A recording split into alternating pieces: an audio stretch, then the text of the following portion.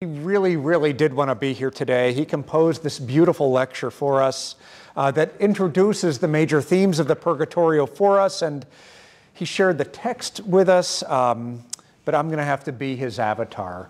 Um, he's just not able to travel, and indeed, he's not even able to um, really um, present from afar, even by Zoom. So let me say just a quick personal word about all of this. Peter Hawkins was actually the reason that I enrolled at Yale Divinity School 25, 26 years ago.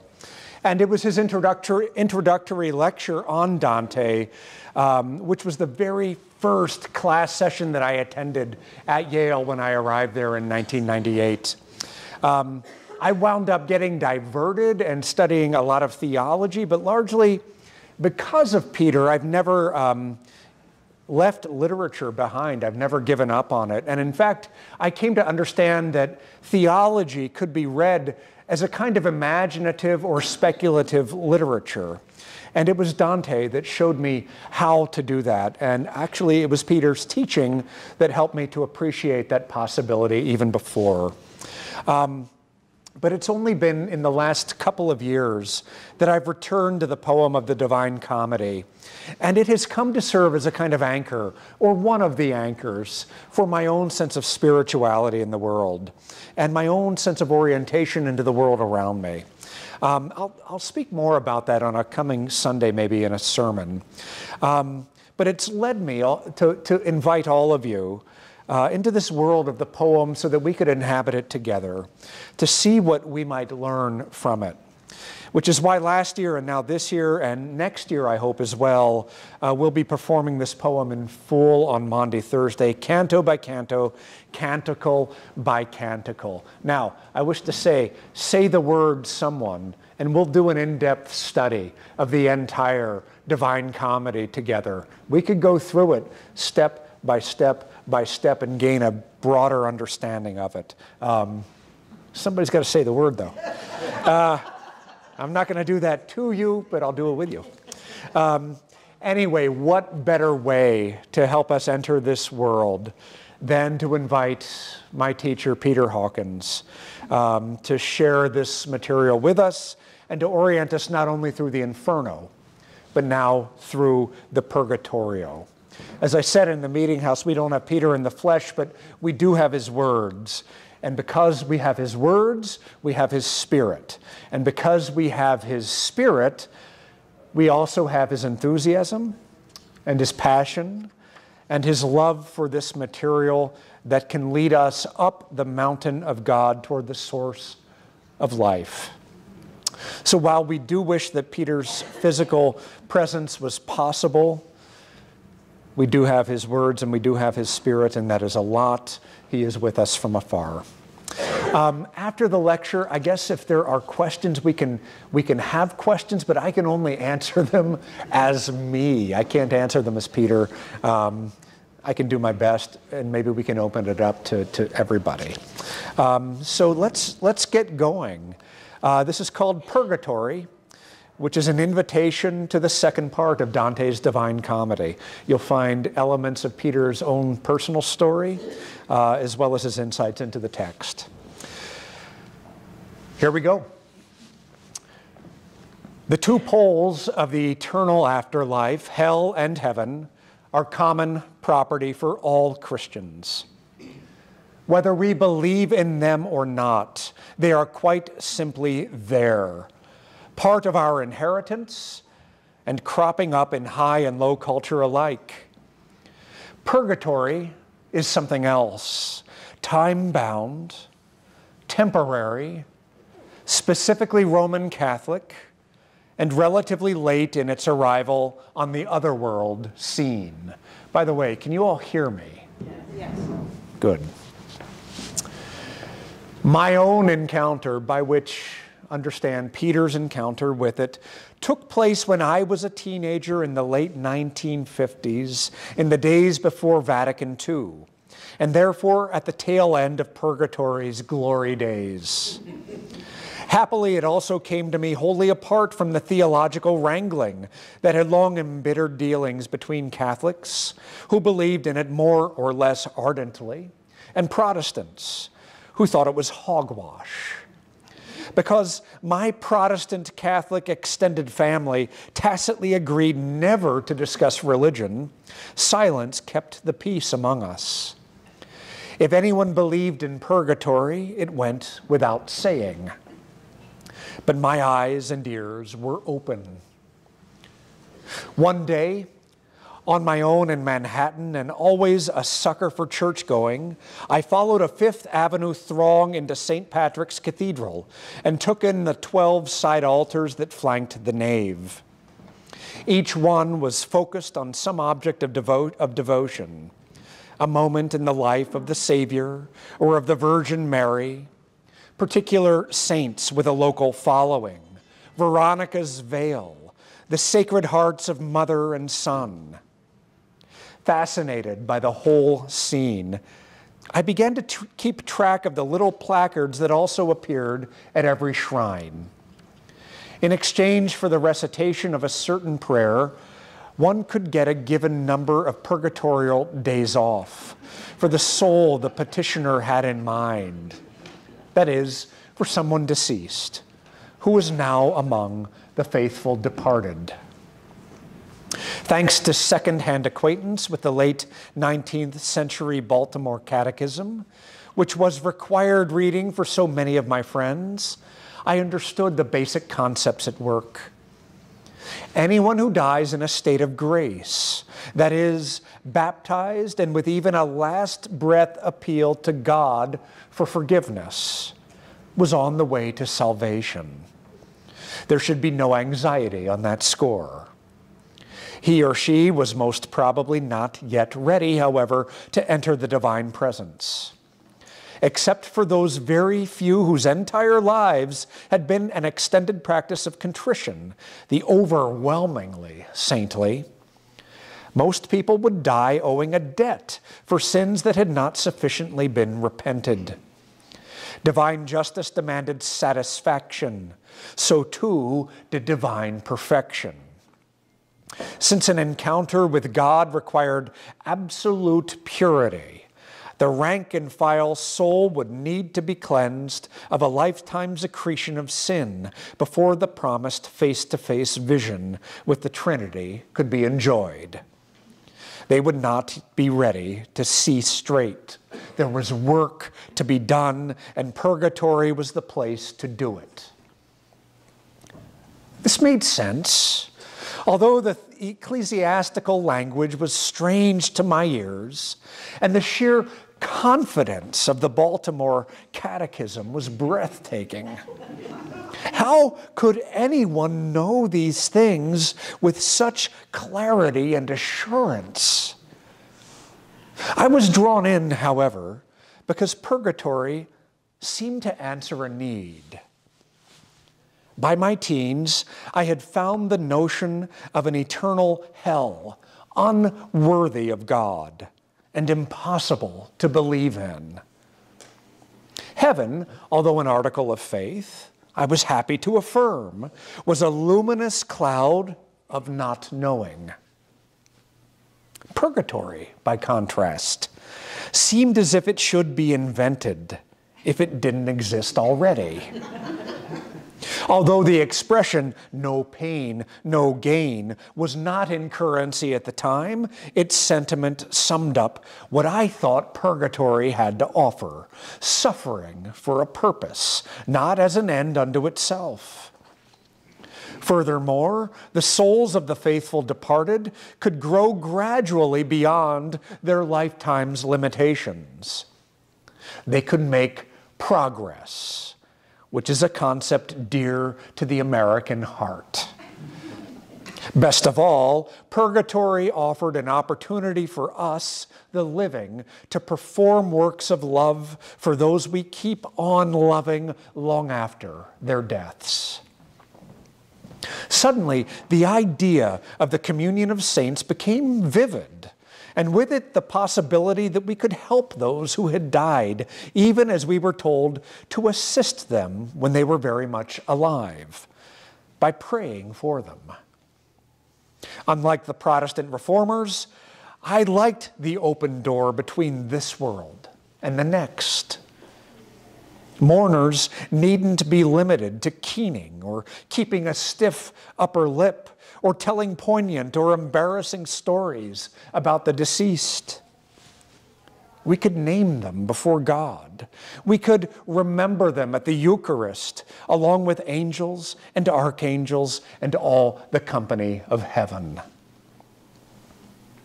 Nonetheless, I had a hard time with the thought that grace could be managed in as efficient a way as the side altar prayer exchange suggested. I was also troubled by the idea that there were days in the afterlife that sped by in response to prayers recited. The mechanics of quid pro quo were disturbing. Therefore, no matter how provocative my walkabout in St. Patrick's may have been, I ultimately put the whole business behind me when I left the cathedral. Purgatory, like white commu- First Communion outfits, meatless Fridays, and weeping statues, was meant for Roman Catholics, not me. Nor was I encouraged to take it seriously by my Episcopal training. Joining the chorus of the reformers, the Book of Common Prayer's Articles of Religion dismiss it as one of the Pope's detestable enormities. Quote, a fond thing, vainly invented and grounded upon no warranty of Scripture, but repugnant to the Word of God, unquote. John Calvin was equally withering. Purgatory, he wrote in the Institutes of the Christian Religion, is, quote, a deadly fiction of Satan which nullifies the cross of Christ, inflicts unbearable contempt upon God's mercy, and overturns and destroys our faith. Wow. this heated controversy was ancient history by the time I began my theological education in the late 60s.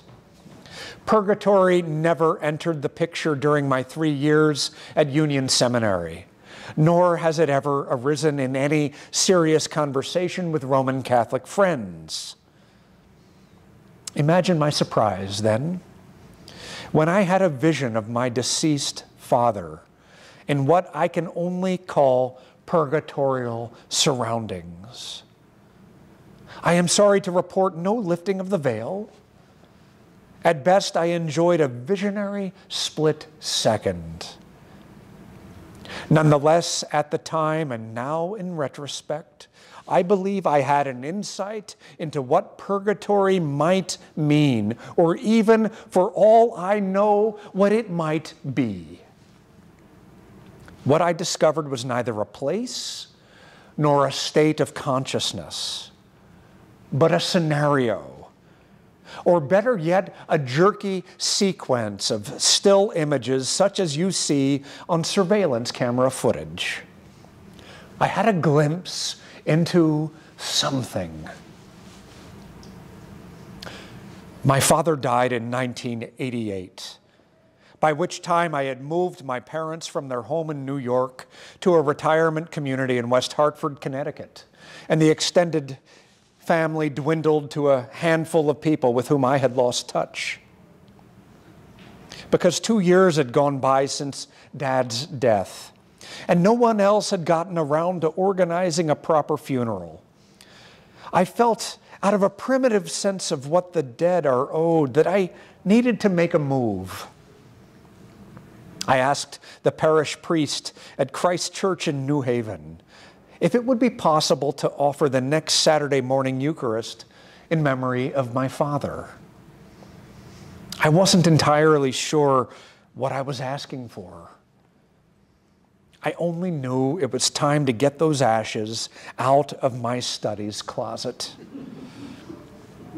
The priest was happy to oblige and so, with the very odd assortment of people who go to an Episcopal Eucharist on a Saturday morning, I prayed for the repose of Thomas William Hawkins Sr.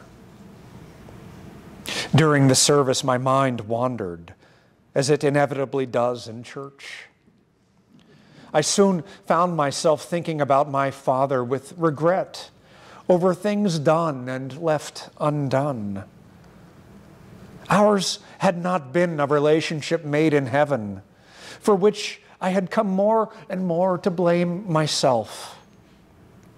Nor had I ever reconciled myself to the extraordinary caution that had characterized his entire life and that had inhibited mine. Anything new was fearsome.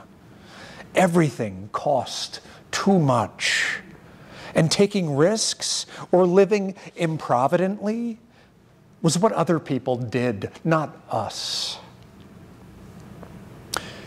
Imagine my surprise then when at some point in the liturgy, I suddenly beheld my father in what looked like a casino, gleefully wasting money with a zest I had never actually seen in him. A depressed survivor of the Great Depression, he had always been pathologically careful not to spend. Money was to be held on to, saved for a rainy day, or simply saved. It was never wasted. But there he was in my mind's eye, in the fluorescent light of a gambling hall, quarters flying, one armed bandits pumping away, as if there was no tomorrow. He was definitely not in repose. He was a very happily agitated man in full smile mode. Who was this person? I wanted to know him. When I came to my senses afterward, wisely making no mention of any of this to the priest at the door, I wondered if I had seen my father in purgatory as he was learning to let go and have fun. No longer burdened by the need to save, but free at last to be crazy and irresponsible. At first, playing the slot machines would have been painful, perhaps even a torment, because wasting money was against his personal religion. It was the unforgivable sin but maybe this is what happens when you die. The arms of mercy that receive you set you loose in a place where you would not otherwise be caught dead. Maybe they bid you to do the opposite of what you had done in life, nudge you to go to the other side of the territory that you had mistakenly confused with reality. Rather than being as comfortable as an old shoe, as satisfying as a long held dream come true, maybe, maybe the afterlife came as a rude shock. Maybe it hurt. Hurting was largely what purgatory was supposed to be about thanks to what historian Jacques Le Goff called the church's move toward infernalization. The idea of terrible punishment in purgatory has prevailed for centuries. Even today, as close to me as the Mission Church in Boston, you can still find representations of souls almost totally submerged within painted flames, their agonized faces crying out for rescue. Dante certainly accepted this notion of purgatorial hurting, along with the other theological premises sketched above, but he completely altered its atmosphere or feel by challenging the primacy traditionally given to suffering. His purgatorial spirits are, as Virgil explains even before the journey takes place, contenti nel foco, content within the fire. The reason is they have something wonderful to look forward to. Quote, they hope to reach, whenever that may be, the blessed people. The poet was not the first to make hopefulness the mark of purgatory, nor would he be the last. 200 years after him, Catherine of Genoa wrote a treatise on purgatory that speaks of its joys as ardently as she would of its pains. But no one else has ever come near the totality of his rendering or the extent of Dante's makeover. Dante began with an overhaul of locale. Instead of imagining purgatory as an underground antechamber to hell, he placed it ranging along the terraced sides of an immensely high mountain that rose up from the otherwise empty seas of the southern hemisphere. It stood at the antipodes from Jerusalem, which was believed to be at the center of the inhabited world. The mountain was beautiful, adorned with art, and crowned by the lush fertility of a Garden of Eden that was watered by just two rivers, not the biblical four. There was Lethe, borrowed from the classical world, in which the rehabilitated souls forget past guilt. And there was Eunoe, Dante's invention, in whose waters the former penitents recall the moments of grace to which they were oblivious when alive. What is perhaps most immediately striking about this above ground reimagining is that Dante's purgatory is not shrouded in the traditional gloom, but bathed in gorgeous light. The pilgrim arrives there just before dawn, when the planet Venus is said to make the whole sapphire hued east smile. From this first starry moment onward, his journey takes place or bides its time en plein air. His path is illumined during the day by a sun that rises and sets in great beauty. At night, when the sun is silent, there is a brilliant recompense in luminous planets and constellations. Freed from the claustrophobia of hell, we find ourselves not only newly risen from the grave, but part of a cosmological pull toward the heavens that, in every sense, draws the penitents upward. Also striking is the way Dante constructs his purgatory to be not hell's close cousin, but its mere opposite. He imagines it by contrast as if in Purgatorio, the comedy's second canticle, he was programmatically developing the dark negative of the first. Whereas the pilgrim descends into hell, moving to the sinister left, he climbs the mountain always according to the right hand.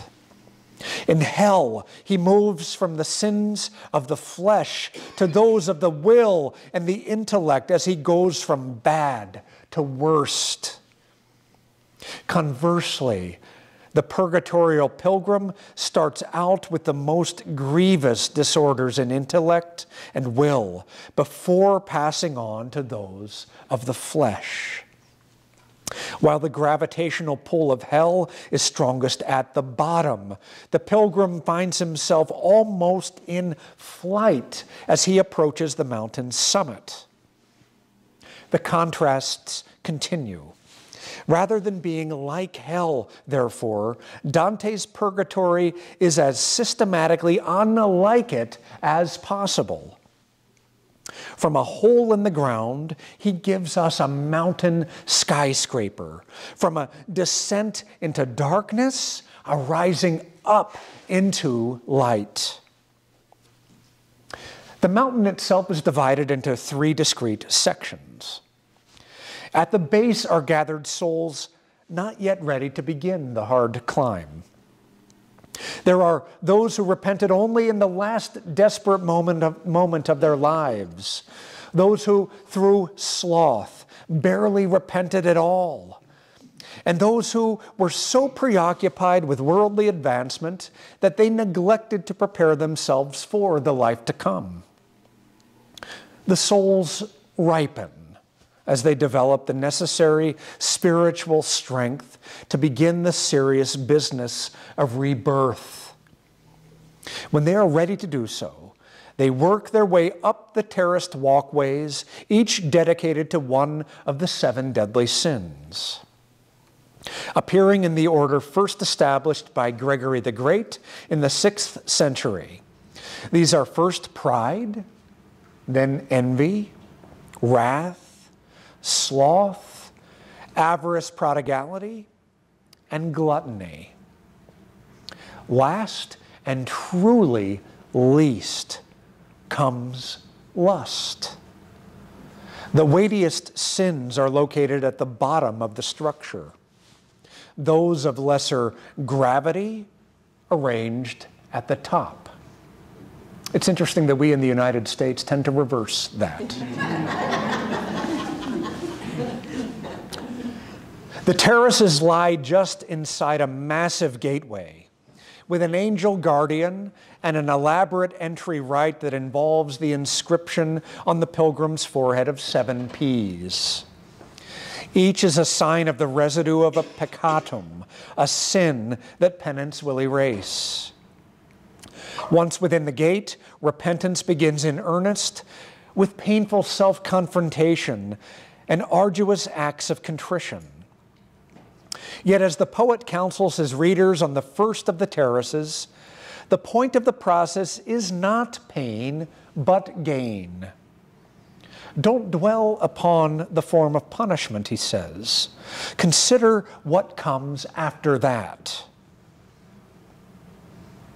What we are not meant to dwell on is a variety of penitential ordeals the heavy burdens borne on the shoulders of the proud, the sewn up eyes of the envious, the corridor of purifying fire through which the lustful, who were evenly divided between what we would now call heterosexuals and homosexuals, who knew?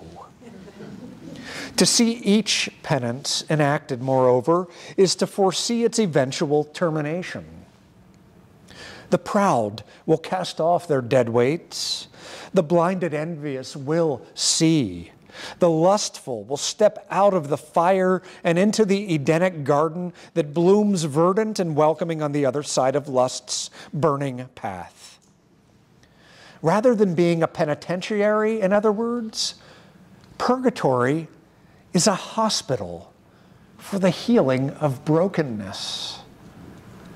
Purgatory is a school for the learning of truth, an incubator in which worms grow up to be butterflies, a conservatory where soloists become a chorus, and where speakers develop a use for we and for us instead of only I and me. Life sentences are not served here so much as lives are rewritten. Other analogies offer, however anachronistic, also spring to mind. Purgatory is a naturalization center where refugees from earth, my Boston, your Old Lyme, learn how to become citizens of the city of God. Or to put it yet another way, the whole experience of the mountain can be likened to psychoanalysis, where the patient painfully unties the knots of the past so as to live more freely in an unencumbered future. Vice is a sickness to be diagnosed and cured, not merely a blemish to be painfully burned away. Whereas hell was all about the compulsion to repeat an endless replay of the sinner's endless song of myself. Purgatory, by contrast, is dynamic, dedicated to change and transformation. It concerns the rebirth of a self free at last to be interested in other souls and other things. It is all about renewal, about the experience of becoming new. What the souls in purgatory have in common, no matter how ill prepared they may have been at their time of death, no matter the extent to which they are still works in progress, is their final turn toward God. Self involvement is essentially what Dante understands sin to be a destructive narcissism whose impulse is to erase the other in order to secure one's own, quote, divine right. Every compartment of hell is full of fresh examples. In the course of moving through it, moreover, we also see that solipsism is never a victimless crime, but is always social in effect. A private kiss can bring down a kingdom. A single counterfeiter can debase an entire currency. The opposite is true as well. We learn in Purgatorio that virtue can open up locked doors, can bring a new understanding of life that amounts to a reinvention of the status quo. Provenzano Salvani, Tuscany's most arrogant grandee in Dante's day, set up shop as a beggar in the Campo of Siena. Quote, to free his friend from suffering in Charles's prison, humbling himself. He, hum he trembled in each vein. What but love could have led such a person to quote, set aside all shame and prize someone other than himself. Love is the key to purgatory. As Virgil explains in Canto 17, the comedy's midpoint. The terraces of the mountain are designed with the redress of disordered love in mind, vice paired with virtue, as the penitent moves from the grip of the one to the freedom of the other. The most grievous sins are clustered lower down, where alienation from love is most apparent. Arrogance is considered more deleterious than lust for instance. Those sins closer to the top represent a mistaken or excessive desire, which once led souls to pursue a lesser good with the zeal that should have been reserved for God. Food was misused, creature comforts made too much of, sex pursued in ways that were compulsive and unhealthy the journey up the mountain, therefore, deals first with the disorders of the higher faculties before turning to those associated with the flesh. On each of the terraces, a particular failure in love is suffered, rectified, and transformed into a virtue that corresponds to the vice. The proud, as I've noted, suffer the heavy burden of their egos, which are represented by the rock under which each one is bowed. Their punishment is to carry this increasingly oppressive and false persona until they can willingly let go of it. When they are able to do so, they stand tall, which is to say, stand humbly at last free of what they mistakenly thought to be their true self. The imprisonment of the vice is transformed into the freedom of the virtue. The self important worm becomes the angelic butterfly, the butterfly it was always meant to be. Throughout this work of transformation, the souls, in effect, go to church They worship themselves clean and they sing themselves free. The Beatitudes are chanted on each terrace, as are other prayers, hymns, and psalms, such as the Miserere, the Te Lucis Ante, the Salve Regina. But the Beatitudes have a particular role to play. They are recollections of Jesus' sermon on another mount, indications of the virtues that have been acquired along the purgatorial way, and foretastes of life in the heavenly city that is the pilgrim's destination. They are also the antiphonal response to the erasure of each of the seven sins that were marked on the pilgrim's forehead when he began his ascent. A rhythm then takes over. On the terrace of pride, for instance, an angel sings, Blessed are the poor in spirit. When the penitent makes an exit and the first peccatum is whisked away, one expects to hear the singing of the corollary, for theirs is the kingdom of heaven, but does not. All such corollaries are left unvoiced on the mountain, but are, but are by no means forgotten. Each is embodied in the person of the penitent, who now enters into a new stage of beatitude. In every case, the angel gives the versicle, and the penitent, and the penitent is the response. The newly humbled soul, poor in spirit, is ready to inherit the kingdom. How quickly this liberation takes place depends on the individual soul, the extent of past sins, and the assistance that has been given within the communion of saints. The church calculated time in purgatory as a sentence measured out in years and even days. You served your time and then were freed. Dante avails himself of this concept on occasion. Yet the overall spirit of the Purgatorio is not to emphasize the calculation of penitential years to be spent. We understand that the proud are released from their burdensome egos, not so much in answer to an external clock as in response to their own maturation. They will, quote, terminate, to recall the analogy of psychoanalysis when their spiritual work, their conversion of virtue into vice is complete. When that happy time comes, the mountain shakes with joy as the other penitents sing out, Gloria in excelsis Deo.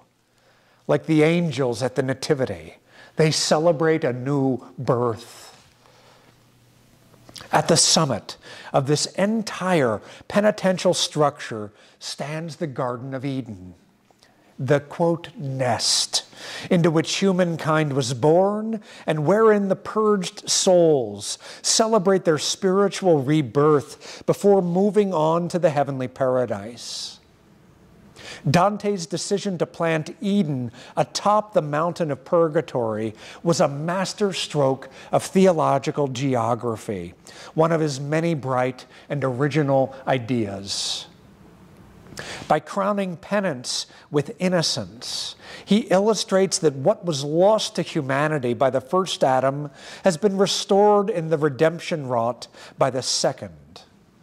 We owe this typology to Paul, as in Adam all die, so in Christ shall all be made alive, from 1 Corinthians 15. As if this weren't enough, the poet has positioned Eden at the antipodes from Jerusalem the place where, according to the Apostles' Creed, Christ suffered under Pontius Pilate, was crucified, dead, and buried. He descended into hell. The third day he rose again from the dead. Dante gives us paradise regained, a territory that is rooted and established in Christ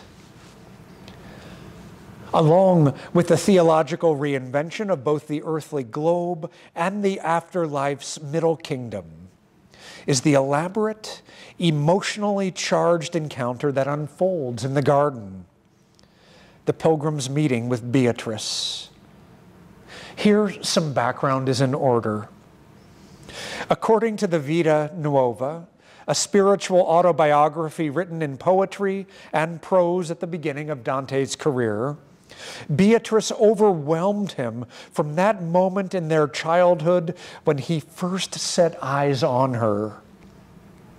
The ensuing story is stylized, filled with swoons, misunderstandings, and hopeless idealizations. Adolescent, in short. Yet, for all the highfalutin romance, a core truth emerges. Through the eyes of love, we see something more than we had ever bargained on. Dante encounters another person more real than himself and a power that transforms everything. He says, I glowed with a flame of charity that moved me to forgive all who had ever injured me. And if at that moment someone had asked me a question about anything, my only reply would have been love. After Beatrice's death, she returns to him in a series of dreams and then in a vision of her in divine glory that is so beyond his present powers to describe that he has to defer writing about it until a later time. He says, Thus, if it shall please him by whom all things live, that my life continue for a few years, I hope to compose concerning her what has never been written in rhyme of any woman. Undertaken roughly 15 years after the Vita Nuova, with other works of philosophy and linguistics begun but left unfinished, as well as rough erotic poems addressed to other women, the comedy becomes that occasion. It is Beatrice who activates the pilgrim's journey to God at the very beginning of the narrative. And it is the prospect of seeing her again that enables him to descend into hell and endure the pain of purgatory.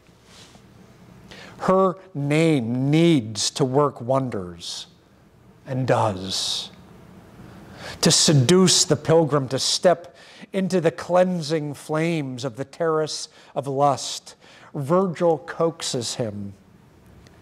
Now see, my son, this wall stands between you and Beatrice. When Dante still holds back, his guide tells him the whitest of lies. I seem to see her eyes already. At last, standing before him in Eden, Beatrice is veiled and hidden from view. Nonetheless, she is still unmistakably herself, and so is he. Trembling now the way he used to when she was alive, he confesses, I felt love's ancient power. And then he says, I know the signs of the ancient flame veiled though she is, and surrounded by figures of the seven virtues, the encounter is undeniably hot. we are no longer in the land of the Baltimore Catechism nor do other renderings of purgatory, renowned for its flames, imagine anything even remotely like this kind of fire. Once we enter Eden, the familiar array of religious practice we've been dealing with along these terraces, the exchange of vices for virtues, the painstaking step by step process of rebirth, the prayers and songs and sacred iconography now culminates in something quite new. The language of the church transposes into a startling fusion of spirit and flesh, of piety and passion. Not a drop of blood is left in me that does not tremble, Dante says about the woman who will bring him before God, in whose gaze he will come to see reflected the splendor of eternal living light. And yet, Dante cannot look directly into those unforgettable eyes or marvel at her dazzling smile until he first experiences the sting of her wrath. This comes as a complete surprise. Nothing in the poem has led us to expect Beatrice's fury, because all that we have heard about thus far are her shining, tearful eyes and her gentle voice, her compassion for his spiritual plight. Not now. She may be his ancient flame, but from her first spoken words, spoken from within the veil but with gloves off, she burns with an icy fire. She says, Dante, though Virgil is leaving you, do not yet weep. Do not weep yet. You'll need your tears for what another sword must yet inflict. There are no signs of welcome or affection from her. Nor will she abide his weeping for Virgil, who departs undetected in the midst of her arrival. Taking no prisoners, Beatrice's tongue is a two edged sword, and her ferocity astonishing even to her companions, the virtues. Witnessing her fury, they plead with her for moderation. They say, Lady, why shame him so? We might have assumed once the pilgrim entered Eden that he was beyond such treatment. After all, just moments earlier, Virgil said the pilgrim was free, upright, and whole in his will, that he was crowned and mitred over himself. Apparently not. If Dante's experience is anything to go on, Purgatory requires not only a general purification of the sins of the past, but a very personal confrontation with those who have been most important to us, inevitably, those that we have wronged the most. As confrontations go, this one is not pretty. Beatrice rails against Dante's failure to make anything out of what he had been given. Not only was he richly blessed in talent and opportunity, but quite specifically in the gift of her love. Once she died and was no longer in the flesh, he was given dreams and visions and other sorts of inspiration, all intended to lead him back to the true path of Eros, which they had charted together. Instead, he lost himself by following a false path. Why? Given the buildup, the reader expects some epic betrayal or carefully mounted excuse. Instead, the pilgrim answers through his tears. Present things, with their false pleasure, turned my steps aside as soon as your countenance was hidden. In the intense experience of this particular love, he was shown how to ascend to the sun and to the other stars. But once the beloved was gone, and with her the incentive to persevere, he fell for superficial brightness fool's gold, substitutes for the real thing.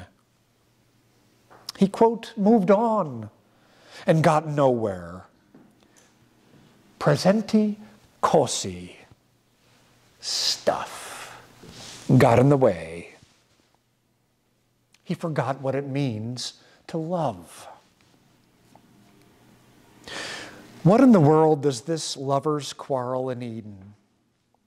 This fury of a dead woman scorned and the sniveling, if honest, response of a living man. What does any of this have to do with God? And why should a romantic crisis serve as the climactic emotional moment of the Purgatorio? I think the answer has to do with the high theological value Dante places on human relationships, and in particular on the potential of romantic love to lead us to God. One may fall in love with ease, but afterwards it is painful and uphill work, as the ascent of the mountain demonstrates terrace after terrace. Working against negative attitudes toward Eros that are as much classical as Christian, that dismiss it as the source of madness, destruction, or the nearest occasion of sin. Dante presents a counter argument through the figure of Beatrice, a revaluation of eros, of the erotic. Human love is not only as strong as death, it is perhaps the most powerful way we can come to know God. To demonstrate this, Dante forges a dramatic link between Beatrice and Christ that begins in the Vita Nuova and then flourishes in the Commedia. In the moment that initiates the journey, recounted in Inferno 2, she descends into hell to bring about Dante's salvation from an infernal dark wood. He remains mindful of her descent into the depths, all the way down into the abyss and then again as he spirals upward along the mountain. At her first appearance to him in purgatory, furthermore, she is greeted by the acclamation that Christ received on the palm strewn streets of Jerusalem Benedictus qui venis. Blessed are you who come.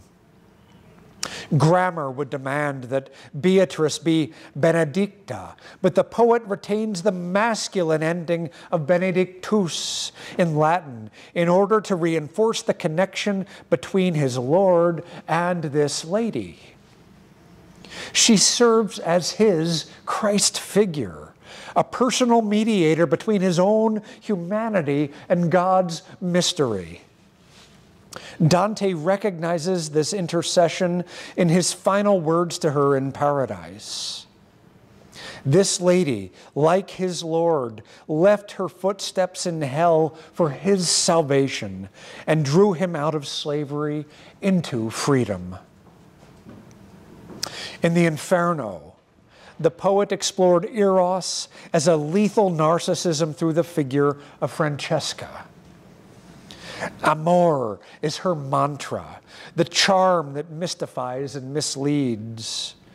She holds on to her beloved Paolo for eternity. Yet what does she really see in him, her silent partner, but a mirror of herself? In Beatrice, however, Dante discovers how love can lead to the way, the truth, and the life. Rather than be a dead end, it can open a door to the most profound reality. According to Charles Williams, whose brilliant theological reading of the Commedia, the figure of Beatrice was of such importance to both Dorothy L. Sayers and W.H. Auden. This trajectory from human to divine was not only what Dante was focused on, but essentially what all true love is, quote, up to. The only question, Williams continues, is whether lovers are up to love. How one learns to be up to love is the preoccupation of Dante's purgatory, the realm of the afterlife that is most like earthly existence, because unlike hell and unlike heaven, it entails change, possibility, and the suffering that is bound up in both.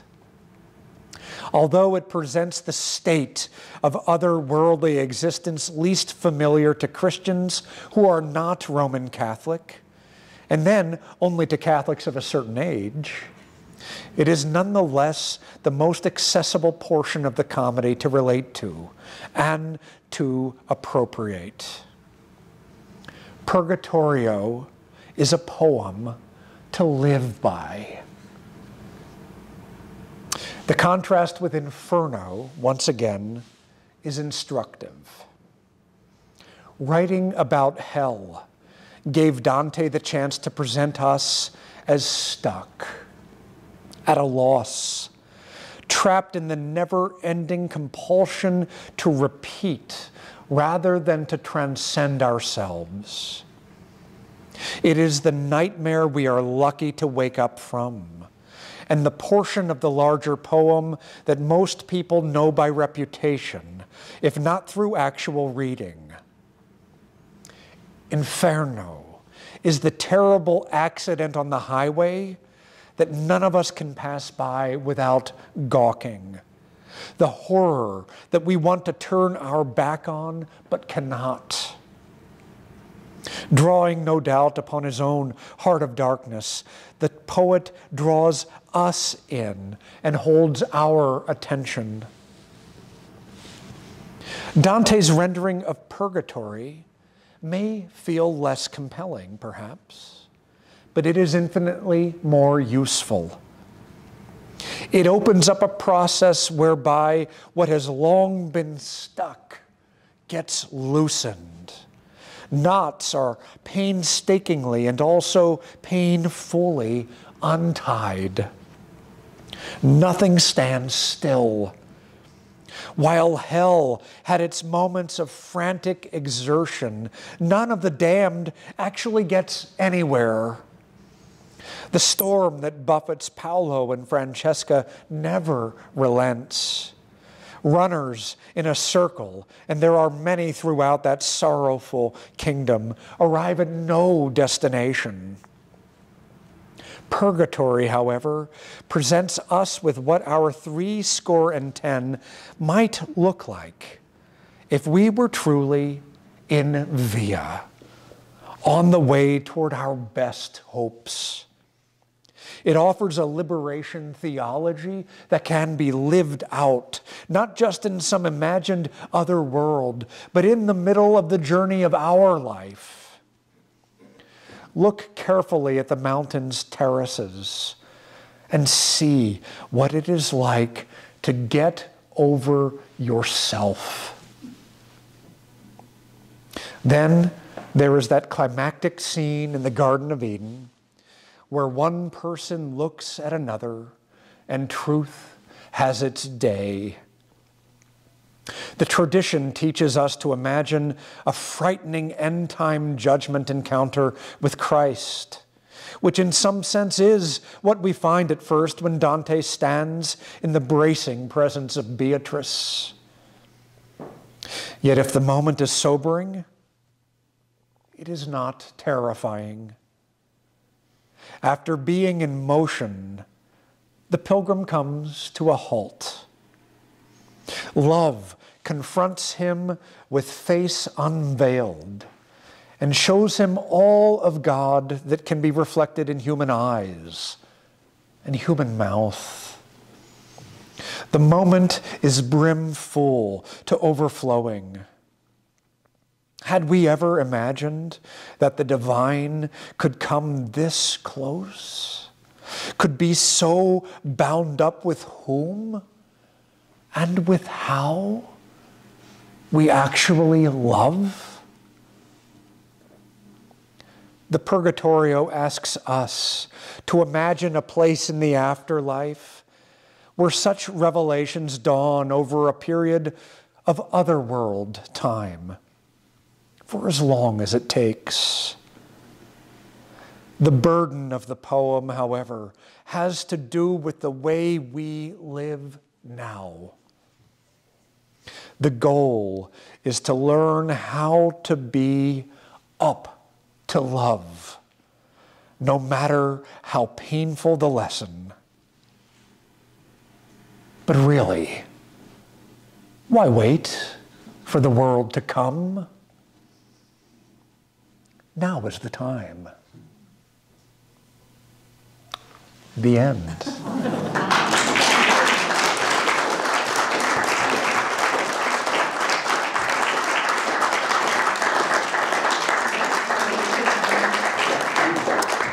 you can begin to see in the hearing, in the reading of this text, how this poem would be something worthy of spending a night going through on Maundy Thursday. But I think more importantly, I think you can see how this poem might be worthy of a lifetime's investment, of a lifetime spent reading it and memorizing it and learning it.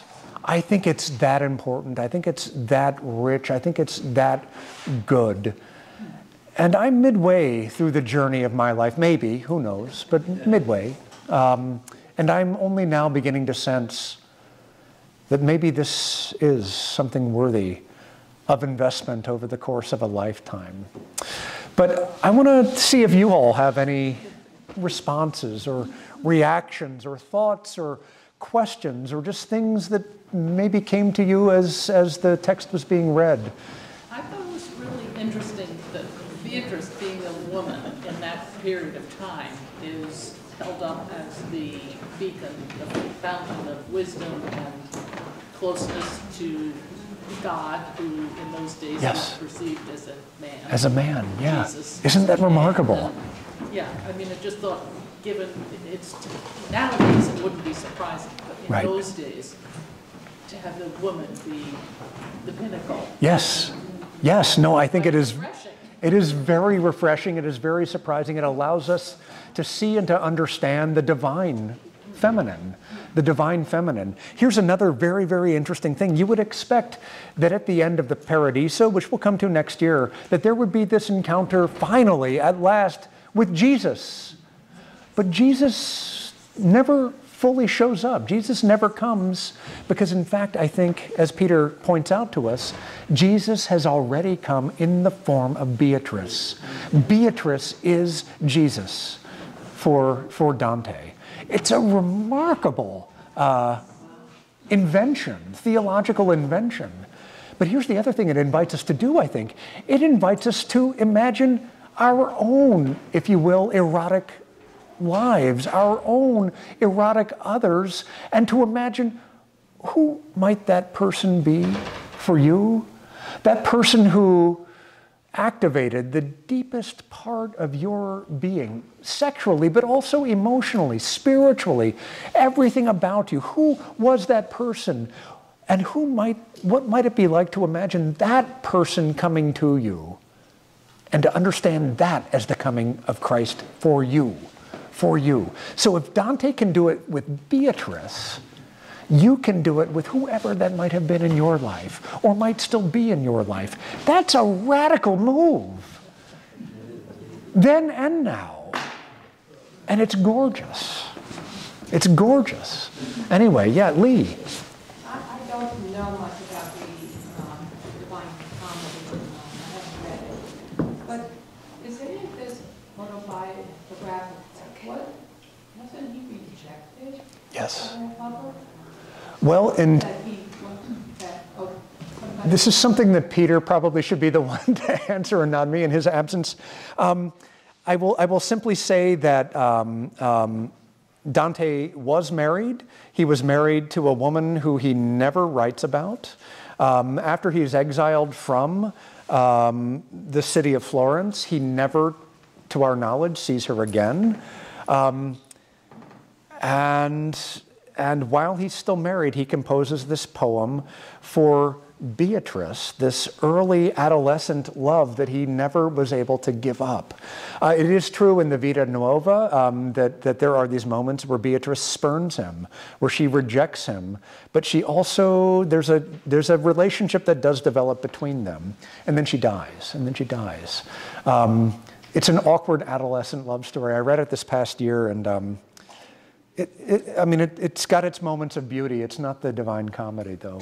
Um, so anyway, there, there's, this, there's this way in which um, biographically it's, it's radical as well because the person he's writing about is not the person he's married to.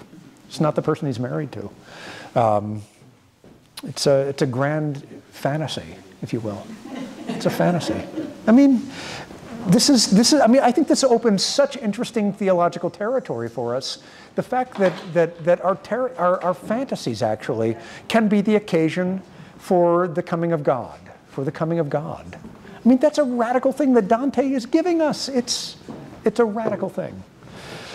Bill. So just the other thing about the feminization, I mean, and then it's Beatrice that, that is his guide. Yes. In the, in the, in the, the, the uh, Paradiso. Yes, yes, yes.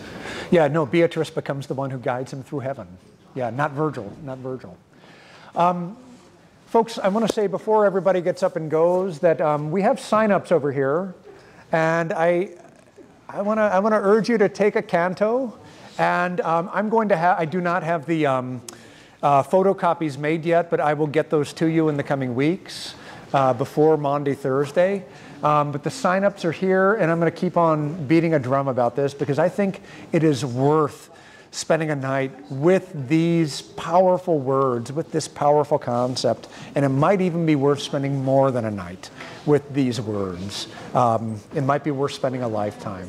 So thanks for this, everybody.